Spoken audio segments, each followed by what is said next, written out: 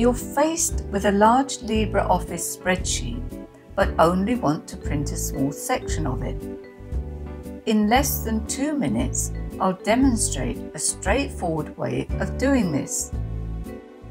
To print a specific range, identify the section of the spreadsheet to be printed by highlighting it.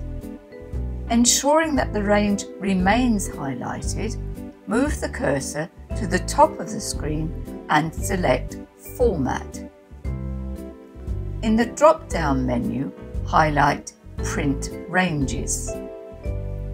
And from the sub-menu, select Define.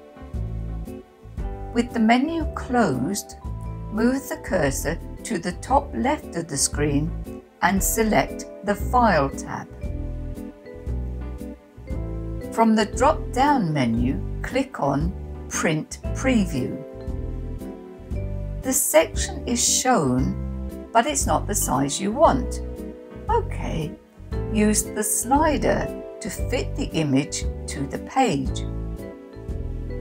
Once you're happy with the result, and of course with your printer switched on, click Print. Now, how easy was that? I hope you found this helpful and, as always, thank you for watching.